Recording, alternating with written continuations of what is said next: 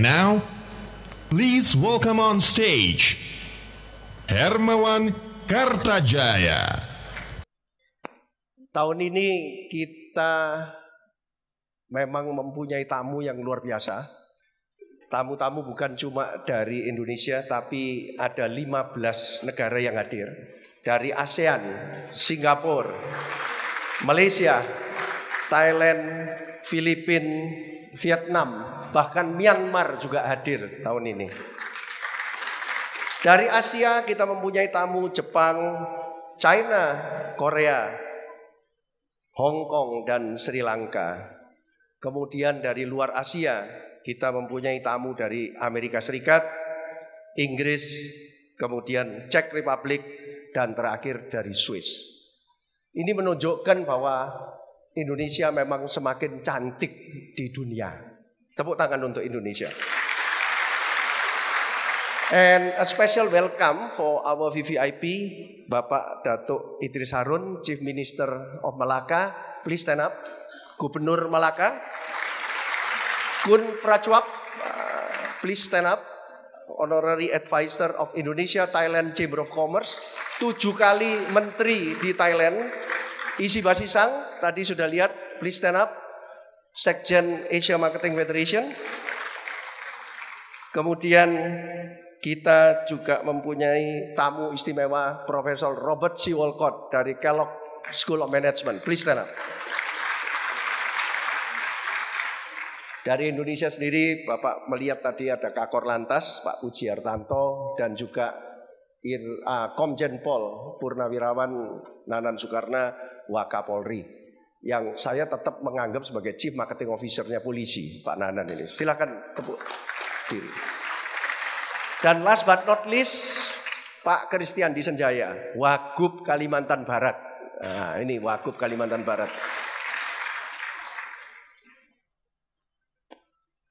Nanti malam tetap ada Wow Night, Wonder of the World Night. Jadi pagi ini adalah Makles Conference ke-8. Nanti malam Sasando Concert yang disponsori oleh Kementerian Pariwisata dan Ekonomi Kreatif. Tiket Anda berlaku untuk nanti malam. Jadi please be back here at 7 o'clock and we will entertain you until 9.30 PM. Dan mulai kemarin sebetulnya kita sudah mulai dengan Kellogg Innovation Network ASEAN yang keempat. Hari pertama kemarin, hari kedua hari ini. Baiklah Ibu Bapak saudara sekalian, hari ini saya mau menunjukkan bahwa kemarin juga sudah ditandatangani kerjasama antara Macplus dan Densu. Densu adalah the biggest advertising agency in the world. Kenapa? Karena Densu dan Macplus mempunyai pemikiran yang sejalan. Bahwa dengan adanya internet, memang internet is not only a new media, internet is not a new channel, but internet sudah merubah consumer behavior. Mereka mempunyai ISAS, attention, interest, search. Jadi customer itu search dulu informasi, baru kemudian act, kemudian share. Nah ini customer itu sekarang very powerful. Sedangkan di Macplus kita mengembangkan konsep yang namanya wow marketing. Sekarang saya akan mulai dengan cover dulu bagaimana Indonesia 2014. Anda lihat Indonesia 2014 kesimpulannya cuma satu. Indonesia 2014 itu wow. Kenapa? Anda lihat Indonesia legasinya seperti itu, ya. Kemudian new wave-nya seperti ini. Karena itu kalau mau sukses menjalankan marketing di Indonesia, mesti diintegrate antara yang namanya legacy marketing, segmentation, targeting, positioning, kemudian differentiation, marketing mix, selling, brand, service, proses, sembilan elemen, tapi juga harus new wave. Karena netizen di Indonesia luar biasa banyaknya. Kita harus paham bagaimana menggunakan 12C. Community, confirmation, clarification, codification, co-creation, currency, communal activation, conversation, commercialization, character, care, and collaboration. Kalau ini diintegrasikan, maka akan timbullah yang namanya wow marketing. Sekarang saya ingin melakukan presentasi dengan cara pecah kucah. Karena sekarang sudah di era internet, Anda lihat Twitter mengharuskan kita tidak boleh mengetik lebih dari 140 karakter. Harus 140 karakter tapi meaningful. Instagram sudah keluar video, video Anda bisa mengupload video tapi cuma 6 detik. 6 detik tapi harus powerful. Kalau Anda pergi ke Line, ya, sosial media lain, maka sekarang sudah bukan icon lagi, tapi emoticon, bahkan stiker. Jadi kita sekarang di era new wave ini harus melatih diri, harus mengungkapkan statement-statement kita dengan pendek tapi very meaningful. Pecakuca berasal dari bahasa Jepang, saya dibilangin oleh isi basisang. Di Jepang pecakuca itu artinya uh, ngomong-ngomong di jalan. Pecakuca ini adalah satu sistem di mana kita presentasi satu paket presentasi adalah 20 slide kali 20 detik. Slide-nya jalan secara otomatis 20 detik. Jadi pembicara dipaksa untuk ngomong singkat, padat, tidak berlebar-lebar dan tidak ke mana-mana. Kali ini marketing in Indonesia 2014 yang kita sebut wow marketing itu saya tidak bisa melakukan 20 kali 20 slide 20 slide kali 20 detik, tapi saya memutuskan untuk mengambil dua paket. Jadi Anda akan melihat dua kali 20 kali 20 detik. 40 kali 20 detik. Ayo kita mulai. Why? Wow marketing. Anda lihat ekonomis 3S. Showtime 2014 karena ada World Cup Olympic Winter. Shock karena 40% penduduk dunia melakukan pemilu. Economic shift Amerika dan Jepang naik, China slowing down, dan akan ada tapering off dari Amerika. Jadi dunia akan mengalami 3S. Indonesia sendiri gimana? Coba kita lihat ramalan ekonomi. Desember tahun lalu, seluruh ekonom mengatakan tahun 2013 akan lebih bagus daripada 2012. Begini. Tapi apa kenyataannya? Coba lihat. Economic forecastnya look promising. Tapi coba lihat di dalam slide berikutnya. Ternyata kejadiannya kayak begini. 6,1 katanya 6,3. Tahun ini 5,6 sudah untung. Jadi ini kenapa ini? Apakah pemain-pemain marketing kita overconfident karena dibilangin tahun lalu bagus kemudian tahun ini overconfident atau karena makroekonomi ini harus mempertimbangkan internet sehingga perlu ada model ekonomi baru supaya economic forecastnya tidak salah-salah terus. 2014 challenging katanya. Waduh hampir semua mengatakan nanti hati-hati loh tapering off dan sebagainya. Tapi sebagai orang marketing, seperti kata Pak Dalan tadi, bumi gonjang ganjing. Tapi sama orang marketing harus tetap antusias, ya. Bahkan Profesor Philip Kotler itu dulu PhD-nya in economics. Tapi dia tidak senang sama economics karena lo kok gitu sih? Mestinya kita bisa menciptakan ekonomi yang lebih bagus karena itu dia jadi guru marketing. Jadi this is marketing. Kita semua orang marketing. Jangan terpengaruh. Ramalan ekonomi itu banyak salahnya sekarang. Yang penting sekarang kita berjuang. Indonesia Cup, new show, berhasil, new shock, ya, new hope. Nanti ada pemimpin baru dan new safe. Percayakan new role dari Bank Indonesia yang sudah tidak usah ngawasi lagi bank, tapi dia sekarang konsentrasi inflasi nilai tukar rupiah. Jadi percayakan saja kepada Bank Indonesia. New game, new hope, new show. Ah, sekarang kita lihat. Saya hadir di final Johannesburg. Tapi nanti sebetulnya battle of commercial brand. Nike sama Adidas ini musuhan terus. Masa official sponsornya Adidas, tapi tim berhasil tadi nanti pakai Nike. Jadi ini sebetulnya the biggest marketing battle in the world. Tapi karakter. Ah, di Indonesia sendiri. Wah ini. Kita mengirim empat orang. Pak Dalan, Jokowi pernah menang jadi marketing of the year. Pak Mahfud pernah ada di panggung ini. Pak Dinopati Jalal ada juga. Mudah-mudahan satu dari empat ini betul-betul jadi presiden Republik Indonesia ya. Supaya orang marketing. Nah, jadi 2014 itu bukan tahun politik. Tapi tahun marketing. Jangan keliru. Import substitution. Karena demand side ada masalah. Supply side. Ayo. Export aggression. Rupiah melemah ini justru harus dipakai untuk ekspor. Dan middle class ini tetap hebat. Karena ada satu survei yang mengatakan orang Indonesia itu terhappy di dunia. Jadi confident belanja terus gitu ya. Maka itu untuk yang teman asing ini kesempatan invest di Indonesia. MP3EI infrastruktur ini Pak Bintang Perbowo yang malu-malu naik tadi utama karya. Ini penting ini di Indonesia masih kurang. Ini opportunity untuk membuat connectivity. Orang cuma bilang connectivity, connectivity. Tapi bukan cuma offline, online juga. Nah ini Pak Arif Yahya memasang satu juta wifi di Indonesia. Infrastruktur dan online juga. Karena connectivity kalau kita ngomong connectivity sebagai kunci dari wow marketing yang pertama tidak bisa cuma offline komunikasi tapi online.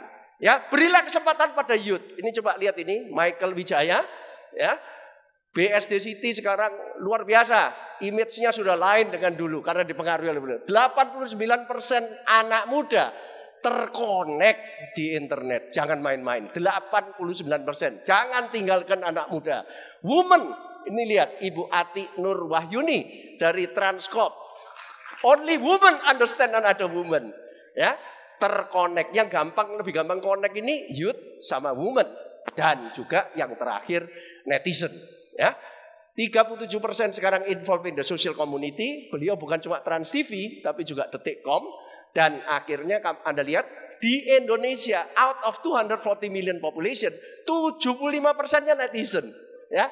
Dan Pak Sugiono Wiono nih yang pinter ini jualan gadget punya seribu outlet seluruh Indonesia.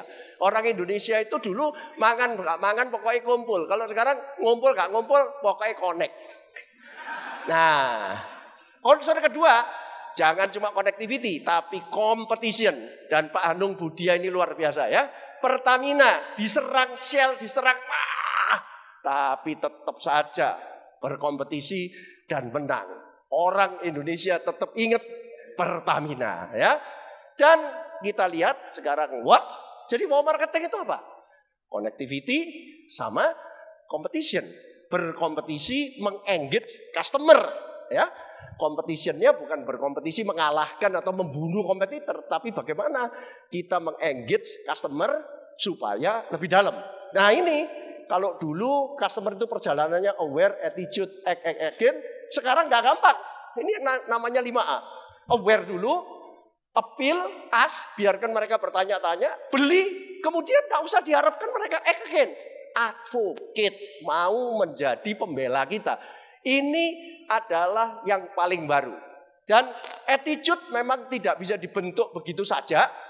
Hati-hati, attitude itu harus terbentuk ketika kita berhasil menjadi seksi di mata customer.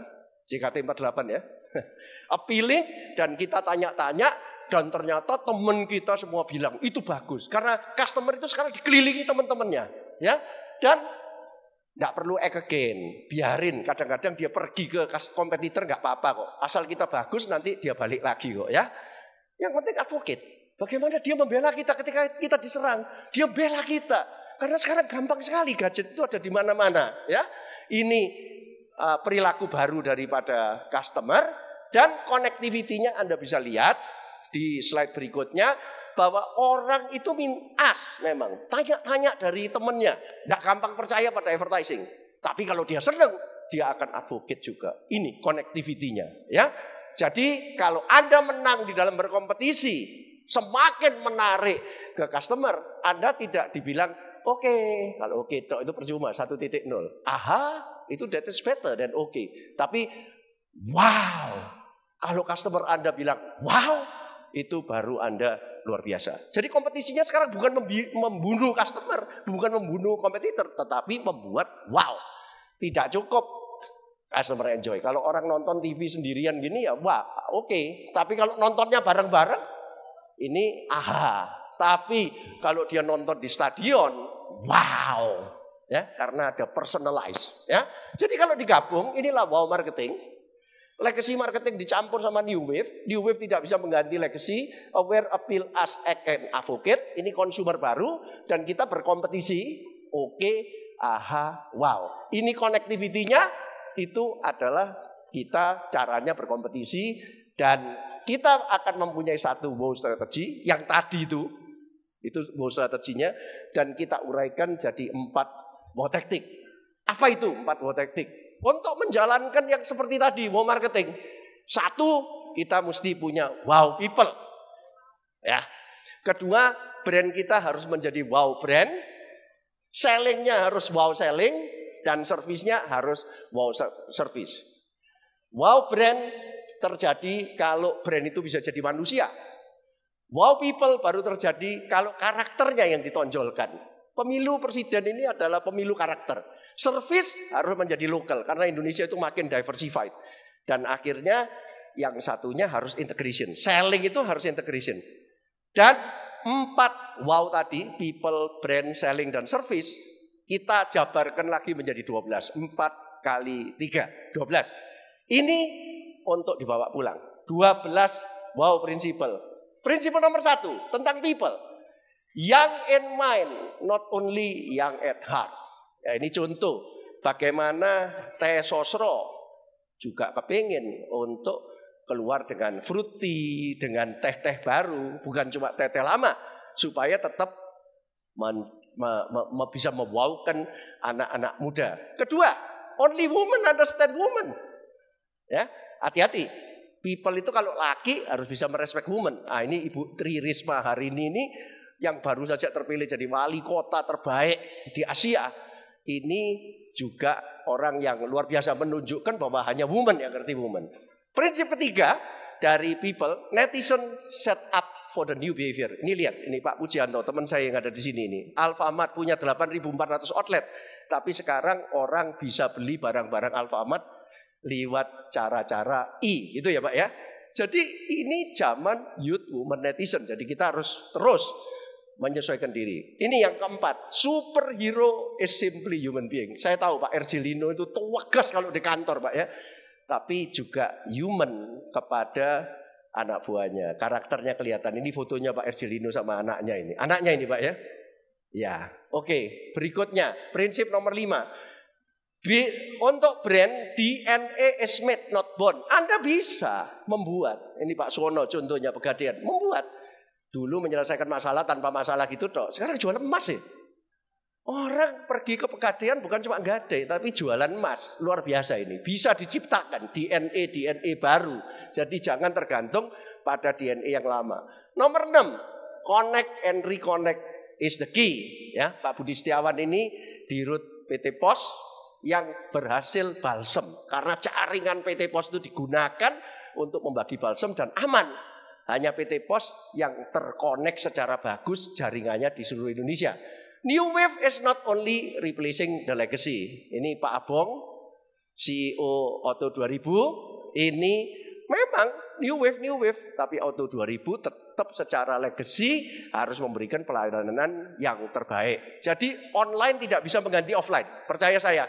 Tapi online bisa membuat offline itu lebih bagus.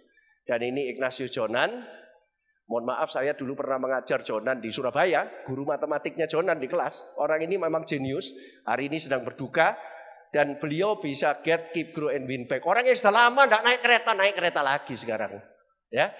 Nah, kita doakan supaya dukanya tidak terlalu lama dan bekerja lagi. Berikutnya, ini contoh dari kimia farma apotek juga diserang macam-macam ini.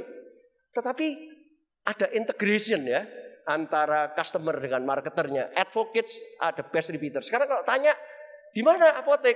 Selalu ngomongnya langsung kimia farma. Nah orang yang ngomong itu pasti akan datang kembali. Jadi jangan memperjuangkan repeater. Perjuangkan dia jadi advocate. Nanti repeaternya otomatis. Ini Pak Budi Suwarto, United Colors of Indonesia.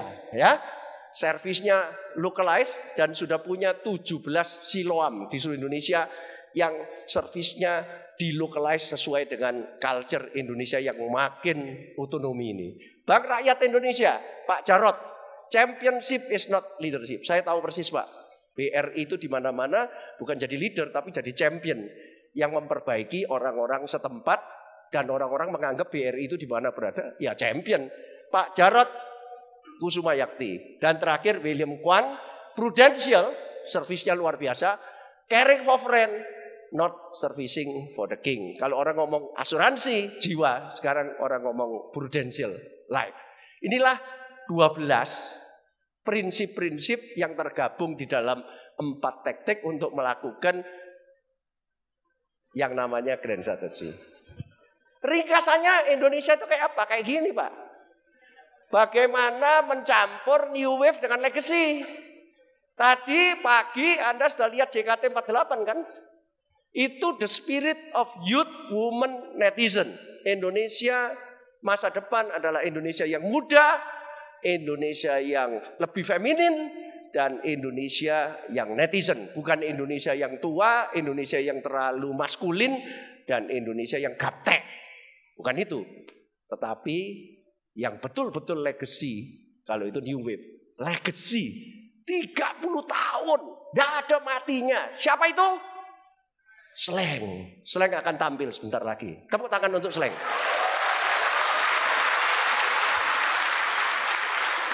Ya, tapi sebelum Slang tampil, saya ingin melakukan deklarasi Indonesia 2014. Wow. Silakan. Saya akan mengundang fotografer kita untuk naik ke panggung untuk mengabadikan Anda semua. Kita silakan berdiri semua. Kalau saya kasih apa-apa begini Indonesia, tolong semuanya ngomong wow gitu ya. Tiga kali. Silakan berdiri. Untuk Indonesia. Kita kita foto dari sini supaya Anda semua kelihatan. Make sure ada fotografer di mana-mana. Kita bikin deklarasi Indonesia is wow. Saya kasih apa-apa. Sudah? Ayo kelihatan semua. Semua harus kelihatan dari berbagai sudut. Kalau saya kasih Indonesia langsung wow ya. Sudah? Sudah semua? Ini deklarasi Indonesia wow. Silakan difoto dari sini Indonesia wow. Indonesia Wow! Sekali lagi. Indonesia. Wow! Terakhir. Indonesia. Wow!